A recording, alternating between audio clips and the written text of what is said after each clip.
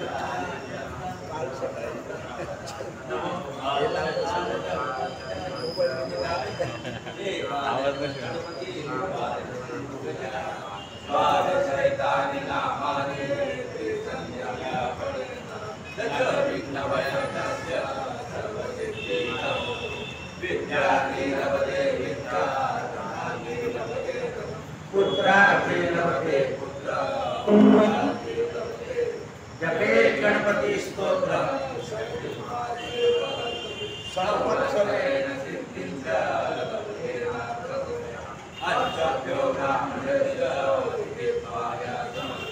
तस्य विद्या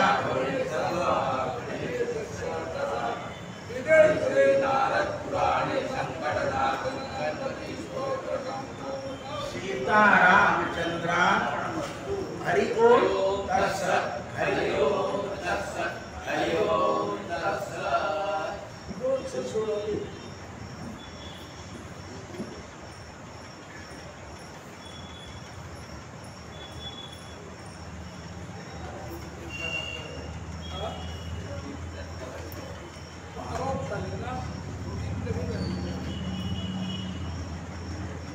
आज विराट पर्व सुरू झालं आपलं. संक्षिप्त वन पर्व आटोपलं आता विराट राजाच्या दरबारामध्ये पांडवांचे दहा महिने पास झाले.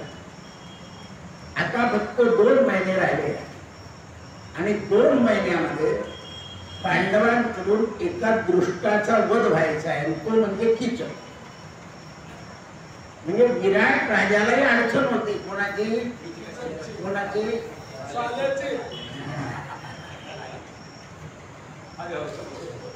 पांडवांनी विराट राजाची अडचण दूर केली. वैशंपाय म्हणतात जन्मेजया सेनापती कीचकानं द्रौपदीला लाथ मारली. द्रौपदीनं राजाला सांगितलं. लक्षात ठेवा. घरामध्ये कोणीही संतापलं तरी लातेनं मारायचं नाही. जो कोणी घरातल्या व्यक्तीला लाथाने मारेल त्याचा नाश ठरलेला आहे. क्रोध आल्यावर हाताने पृष्ठभागावर मारायला सांगितलेलं आहे.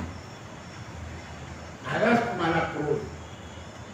तर पृष्ठभागावर मारा. म्हणून यशस्विनी राजकुमारी द्रौपदी त्याने लाट मारल्याबरोबर त्याच्या वधाचीच योजना केली. आणि तिने आधी राणीला आणि लोकांना सांगितलं होतं की माझ्याकडे जर कोणी त्रास देईल तर माझे पाच पती गंधर्व हे आकाशात फिरताय ते केव्हाही कोणाला मारते त्यावेळेस कार्यसिद्धी करणारे भीम या भीमांचं स्मरण द्रौपदीने केलं. हिला भगवंताने एक शक्ती दिली होती. आजही सांगितलं मी. आज भागवतामध्ये आणखीन एक मुद्दा चांगला सापडला. इतक्या दिवस त्याने सांगत होतो. पण मनातला संसार संपवायचा असेल तर त्याच्याकरता चतु षष्टम स्कंदाच्या शेवटी उपाय सांगितला आहे. दिती आणि आदिती. या दोघांनी काश्यपाशी संबंध करून एकीने वैर साधलं आणि एकीने साध्य साधलं म्हणजे आदिती ही तृप्त झाली आणि दिती अतृप्त झाली. तर माणसाच्या मनामध्ये संसार हा कायम राहतो. तर त्यांनी उपाय सांगितला व्यासांनी सुखदेव राजा परीक्षिताला सांगतात की ज्यांना आपल्या मनातला संसार संपवायचा आहे त्यांनी एका देवाची आराधना करावी. आणि त्या देवाचं नाव सांगितलंय लक्ष्मी नारायण म्हणून संसारी माणसाला लक्ष्मी नारायणाची आराधना. ते आपले विठ्ठल रुक्मिणी म्हणजे जोडी राधा कृष्ण. एकट्या देवाची उपासना करायची नाही. पार्वती आणि शंकर. उपास कारण लक्ष्मी नारायण हे कोमल दैवत आहे. एक कडक दैवत आहे. काल कोणीतरी आजी धरून साबण म्हणाली लक्ष साबण. त्या साबणाने धुत होत. तो धुता धुता तो आता ती अशी घासायला लागले. तो हात जो सरकला तर ठक आता काय करणार आपण ते? तर ते हे काम करू नका तुमचं काम नाही साबण हे लक्षात राहिलं. देवता आहे त्या. अजूनही लोक पितांबरीत देव घासतात.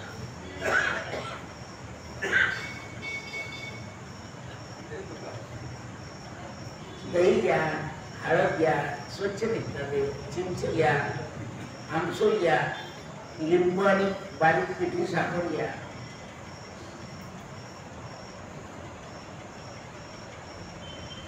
म्हणून लातेने मारायचं नाही. रात्री द्रौपदीनं भीमाचं स्मरण केलं. हा एक मुद्दा राहिला. सेवा आणि स्मरण याच्याने मरण सुधरत. सप्तम स्कंदातला मुद्दा. सेवा आणि स्मरण. आपण जेव्हा इथे देवाची सेवा करतो पूजा करतो. त्यावेळा ईश्वराच्या स्मरणाव्यतिरिक्त काही करायचं नाही.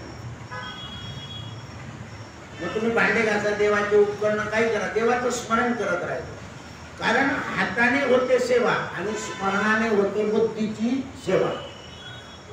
बुद्धीची शुद्धता स्मरण म्हणून गोविंद गोपाल गाते चलो मन विषय विकार से हटाते चलो मनामधला संसार संपवायचा असेल तर लक्ष्मी नारायण युक्त देवाची आराधना करा. दुसरा मुद्दा आहे सेवा आणि स्मरणानं मनातला संसार मिटतो. त्यावेळेस अपमानामुळे दुःखित झालेली पाप शाळेमध्ये प्रवेश करते. भीमसेनाला सांगितलं उठा उठा. माझा शत्रू महापत महापापी सेनापतीने मला लात मारली आहे. आणि मी अजून जिवंत आहे. माझ्यावर किती संकट येतील? दुःशासनानं मला बोललं तेव्हाही तुम्ही बसले होते सगळे. आता तुम्हाला माहिती पडलं तरी तुम्ही घोरत झोपले. माहिती तर पडलं होतं. लात मारले म्हणून धर्मराजाने पाहिलं होतं. द्रौपदीने भीमाला जागवलं. आणि बसवलं. आणि सांगितलं की मला पीडा होते. तुम्ही लोक असल्यावर सुद्धा माझ्या शरीराचा रंग पिढेमुळे अस्वाभाविक झालाय. म्हणजे मला रंगच राहिला नाही. द्रौपदी कोरी होती. पण चिंता आणि काळजीने मनुष्य काळा होतो. उन्हाने काळा झालेला मनुष्य काही दिवसांनी गोरा होतो. पण चिंतेने काळा झालेला मनुष्य गोरा लवकर होत नाही. तुम्ही किती कॉस्मेटिक वापरा. चिंतेनं कातडी काळी होते. म्हणून महाराज मी दुर्बल आणि उदास झालेली आहे. द्रौपदी म्हणाली माझं दुःख तुम्हाला लपलेलं दिसतं. आणखीन विचारतात का मी आज दासी म्हणून काम करते. पाच पतींची पत्नी सभेमध्ये ओढली जाते. अपमानित होते. मी या संसारामध्ये बारा वर्षापासून जळते. जळत हृदय महाजे. जन्मपोट्यानुकुल स्त्रीचं आरोग्य पती पुत्र आणि आप्त यांच्या प्रेमानं चांगलं राहतं. स्त्रीला सौख्य पाहिजे असेल तर पती पुत्र आणि आप्त. म्हणजे स्वकीय लोकांनी वारंवार स्त्रीची निंदा करू नये. आता एक केव्हा समजलं काय पुढच्या जन्मी म्हणजे मग ते पुन्हा कधी जाय. त्याच्याऐवजी आता ते समाप्त आहे. जे झालं ते गंगेला मिळालं नाही. गंगेला मिळालं म्हणजे गेलं. त्याचा आपला संबंध राहिला जे झालं ते गेलं. त्याची आठवण केली म्हणजे पुन्हा चक्कर आहे. चक्कर मारत आहे. का चक्रात पडत आहे. म्हणून वनवासामध्ये जयद्रथाने स्पर्श केला. आठवण करून देते. पांडव आश्रमात नसताना घेऊन पळाला होता ना तो. जयद्रथाने केला. दुसरा अपमान झाला. माझं साहस होत नाही. इथे धूर्त राजा विराट आहे. त्याला मी दाखवते तोही काही करीत नाही.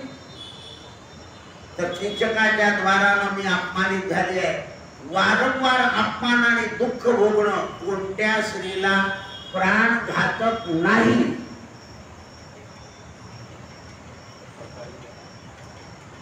आणि कोणती स्त्री इथपर्यंत प्राण ठेवू शकेल? मी माझ्या जीवनाचा काय लाभ आहे? किचक नावाचा सेनापती विराट राजाचा चालक हा मोठा दृष्ट आहे. तो प्रतिदिन सैरंध्री या वेशामध्ये तू राजमहालात का राहते? माझ्या राजमहालात राहा असं मला बोल. तो रोज पापपूर्ण प्रस्ताव माझ्यापुढे ठेवतो आणि माझ्या हृदयाला विदारण करतो. धर्मात्मा युधिष्ठिर जिवंत असल्यावर ते राजाच्या जवळ उपासना करत बसतात. धर्मराजा काय करतात? विराट राजा. माझ्याकडे काही पाहते मी काय सांगितलं तुम्हाला? काय की जेव्हा द्रौपदी आली तेव्हा धर्माने इकडे तोंड करून घेतलं. युद्धासाठी माझ्याशी तुझा संबंधच नाही. माणसाने जर पत्नीच्या सांगण्याचा काना कानाडोळा केला तर पत्नीला अत्यंत क्रोध येतो. एवढं तरी म्हणावं लागतं. तुम्ही ऐकतोय ना तू थांब. म्हणजे तिला वाटतंय आपल्या. नाहीतर तो क्रोध जास्त. आता लोक म्हणतील हे लग्नाच्या आधी माहिती असतं तर बरं झालं असतं. ना नव्हतं माहिती होतं असं पडलं तर घडवलं. क्रोध हा अगनसेवी तेज आहे. आपलीपासून पेक्षाही वाईट आहे. म्हणून आता पूर्वी स्त्रिया जाळून घ्यायच्या. आता आत्महत्येकडे लागले. पहा काल जोडव्याने आत्महत्या केली आता पती पत्नी जात आहे. कारण या विज्ञान युगामुळे त्यांना कळालं की आपल्यामुळे आता घरात काही खरं नाही. तू राहिली तर माझं वाईट मी राहिलं तर चल दोन्ही दोन्ही झालं. जसं विठ्ठल पंतांनी बरोबर सहगमन केलं तसे हल्ली बरेच जोडवे सहगमन आत्महत्या.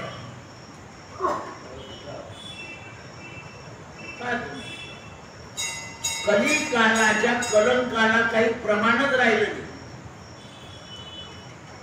काय म्हणत असतील ते मुलं लहान मुलं किंवा सासू सासरे आई वडील कोणत्या दुःखाला त्यांनी सामोरं जावं? म्हणून त्यावेळेस मी प्रति दिवशी दुःख भोगते.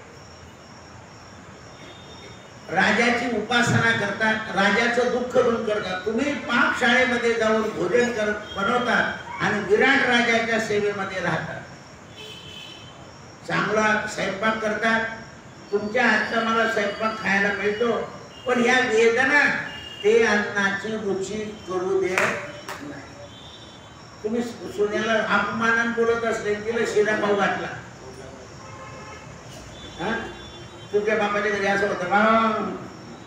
असं बोलता ना, सासवा पहा तिथे ना तो ती आपली पोरगी आपल्या घरी आली आहे. आपलं त्याच्यावर लक्ष पाहिजे. म्हणून त्यावेळेस धर्मात्मा युधिष्ठिरानं सुद्धा एवढंच नाही अर्जुन हा बृहन्नड्याच्या वेशमध्ये आहे. मला माझ्याशी शिकवलाल काय माझे दुःख कमी करायला काय हरकत तो तिकडे नाचत बसतो बाकी त्यांना नाचतो. आता तो बाहेर गेला, एक फोडणी करताना आपण म्हणून की तू जेवली का नाही जेवली काय करायला हरकत आहे? तो म्हणतो वेळ नाही मिळाला. बाकी त्या गप्पाला नाही झाला चहा प्यायला जेव्हा त्याला वेळ मिळाला तू बाई फंड करतो माणसाला सांग. म्हणून काही कर्तव्याला विसरू नाही. काय शिकवते द्रौपदी?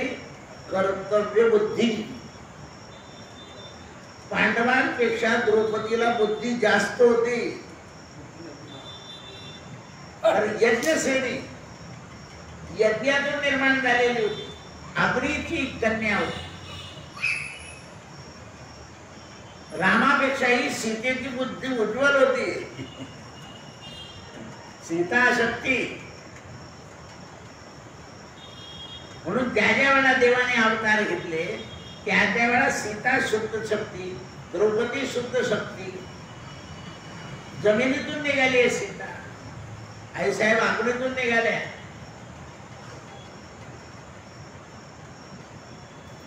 अहिल्या मंदोदरी.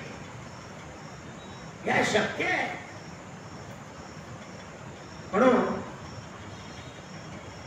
विराट राजाची कन्या अर्जुन नाचवतोय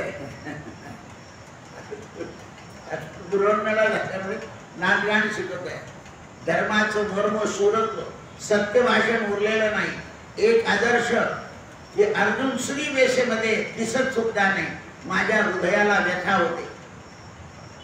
तुमचे छोटे भाऊ सहदेव हे गायींमध्ये मग्न आहे तो गवळ्यांचा वेश पावसून पाहून माझं रक्त सुकून जात. शेण गारा डोक्याला मुंडास हातात काठी. धनुर्धर माझा सहदेव. एक गाईच्या गोट्यात दुसरा घोड्यांच्या कदल्यात.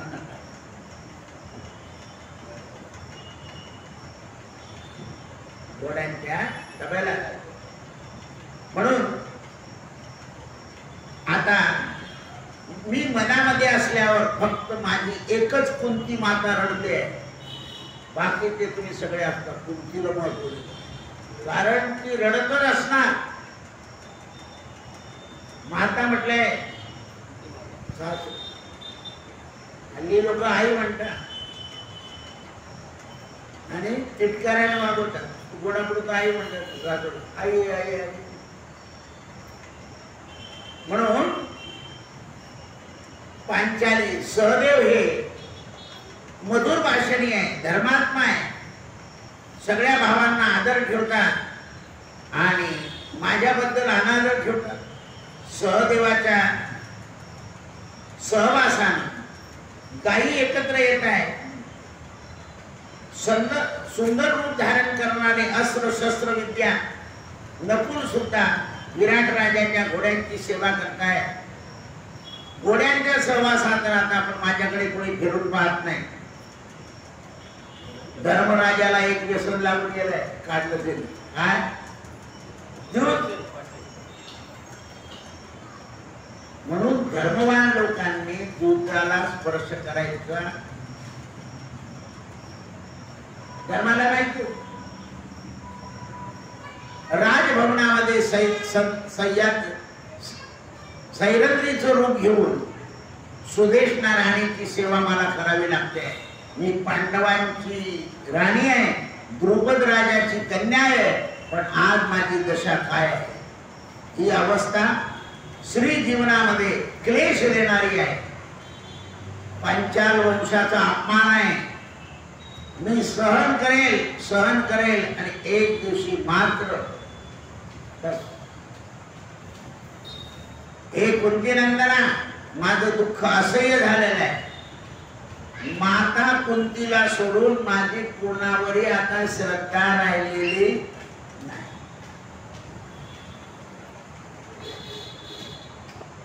म्हणून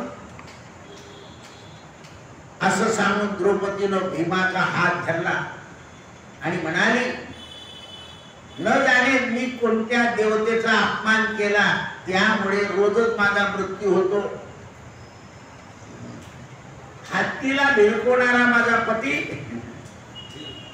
पैलवानाला भिरकवणारा माझा पती माझ्या शत्रूला मारू शकत नाही. चिरळ दुर्योधनाला जेव्हा पिळला ना तेव्हा सुद्धा दुःशासनाला पिळला तेव्हा म्हणाला मांडी द्या त्यांकाच दिलाय भीमसेन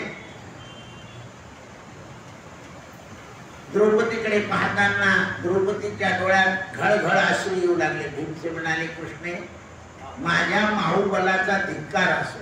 अर्जुन अर्जुनाच्या गांडीव धनुष्याचा धिक्कार असो. पण कालाच्या युगानं उन्मत्त झालेला किचक मात्र माझ्या हातानं त्याचं मस्तक राहणार नाही तू काही काळजी करू आमच्या आणि त्या मी मला त्याला काही असा किडाला वेळ लागणार नाही. पण दोन महिने राहिले.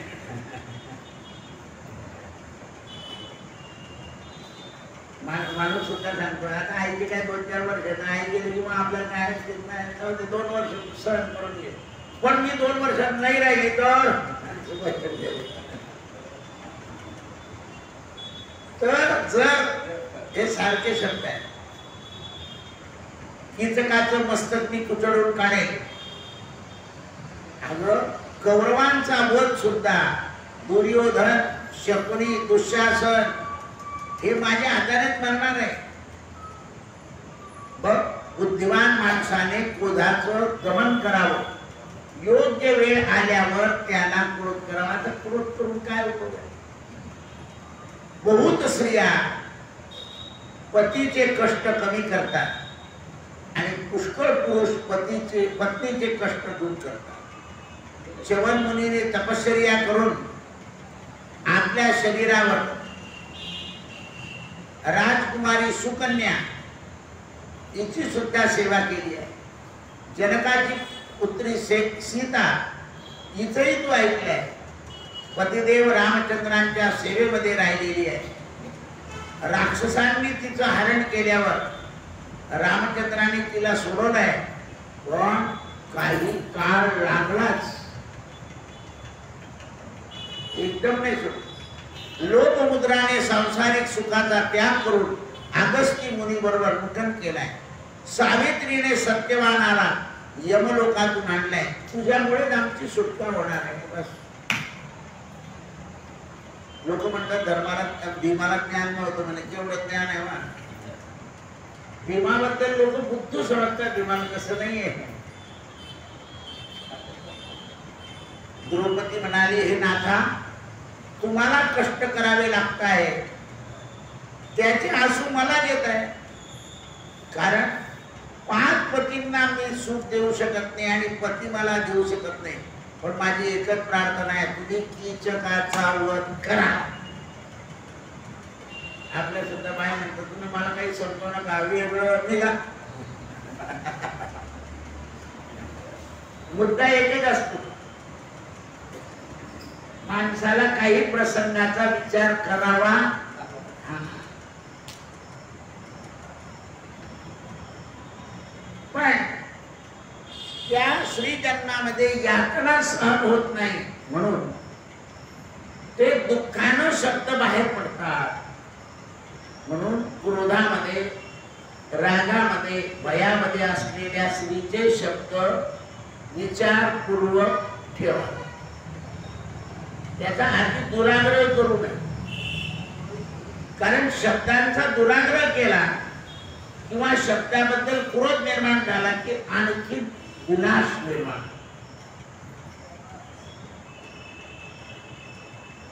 त्यानंतर मी त्याला मारेन सैरंदी गंधर्वासहित मी सगळ्यांचा संहार करू शकतो. राधे राणी सुदेशना ही त्याला मिळालेली आहे द्रौपदीने सांगितलं. कारण काल राणीने मला किचकाच्या घरी जाऊन प्रेमवशानं मदिरा आणायला सांगितलं. मी गेले आणि प्रार्थना केली की तू राणीनं जे म्हणजे मागितलंय ते दे. त्याने माझ्यावर अन्यायाचा मनोभाव दाखवला. मी त्याला सांगितलं की तू ग्लास खाली ठेव. म्हणजे ही राणी सुद्धा मध्य मागते भावाकडे तेव्हा द्रौपदीला कळालं होतं की कारस्थान आहे. किचक राजा राजा राणी हे दोघही किचकाला मिळालेले आहे ते पापी आणि क्रूर आहे यांची प्रजा दिवसेंदिवस चिखलात आणत जाईल. आणि दुःखी होईल. कारण असा सेनापती ठेवलेला आहे. कुत्सित प्रस्ताव करतात. आणि या वर्षापेक्षा आपले बारा वर्ष वनवासात बरे होते. शत्रूचा नाश करणं हा पांडवांचा मुख्य धर्म आहे. धर्माची आठवण करून देते द्रौपदी.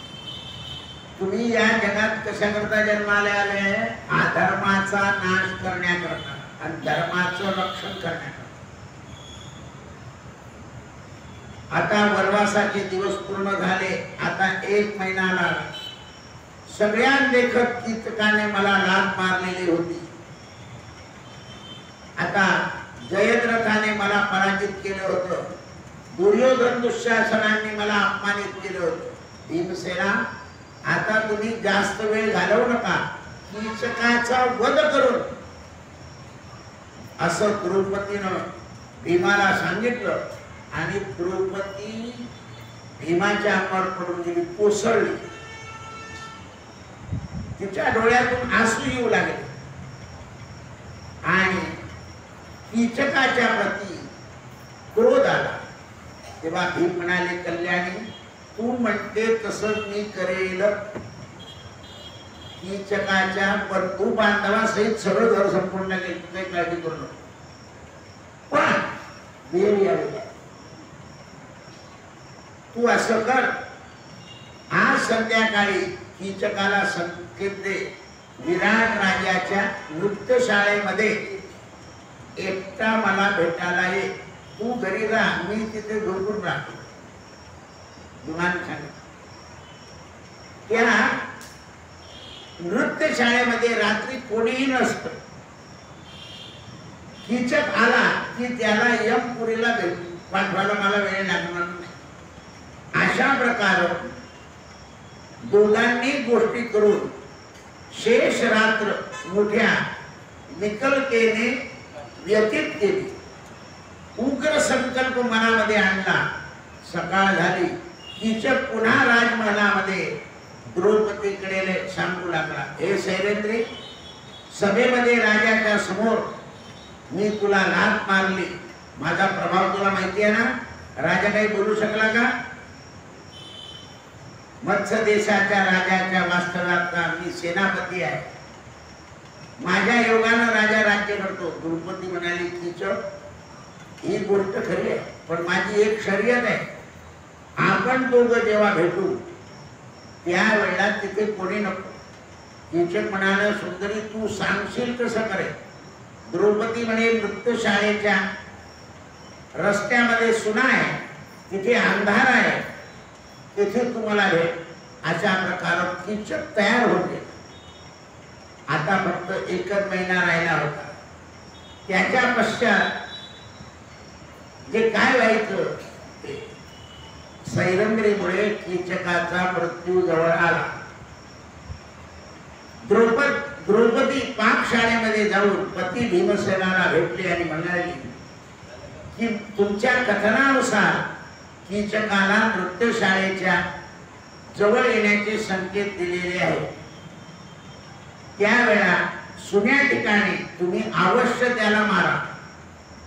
भीमसेन म्हणाले मी धर्म सत्य भावाची शपथ घेऊन सांगतो की आज इंद्रानं ज्याप्रमाणे वृत्रासूर मारला इंद्राने ज्याप्रमाणे वक्रासूर मारला त्याप्रमाणे मी कीचकाचा प्राण घेणार. मत्स्य देशाच्या राजाला रडावं लागणार. मत्स्य देशाच्या राजाची राणी जी मद्य मागवते तिचा मग मी उतरवणार. आता भीम प्रतिज्ञा आहे. आणि तुला आता सांगतो दुर्योधनाला सुद्धा मी असाच मारणार. जयद्रथाचा असाच नाश करणार. द्रौपदी म्हणाली ना तुम्ही सत्याचा त्याग न करता मारा. सत्याचा त्याग करू नका. कारण कीचक हा सत्याच्या लायक नाही. भीमसेनानं मी कीचकाचा वध करे कोणाच्याही बंधू भावाचा वध करणार नाही. याने काय केलं घर मारून टाकेल. द्रौपदी म्हणे नाही एकाने मला त्रास दिलाय. घराच्या बाप कसा धर्म पाळला तुम्ही धर्माने शिक्षकानं मला शिक्षकाने लाच मारली त्याच्या घराने मला दुःखामध्ये सुद्धा आपण काय म्हणतो त्याच्या घराला कुलूप लागो.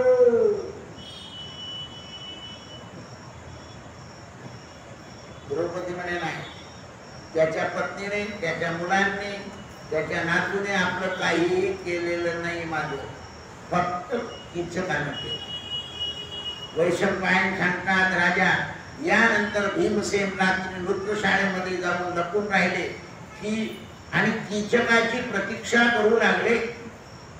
त्याप्रमाणे सिंह दोन्ही पंजे टाकून अगदी आरामाने बसलेला असतो हरण केव्हा येत? त्याप्रमाणे भीम कीचक वधाच्या नेत्र कक्षेमध्ये कीचक केव्हा येतो? त्याची वाट पाहत होता. हरे नमः. हरये नम। हरये जन्माचे ते मूळ पाहिले शोधून कारण जन्म घ्यावा. पाप पुण्य कळती जन्मायक प्राणी नरया येऊनी हानी वडे सर्व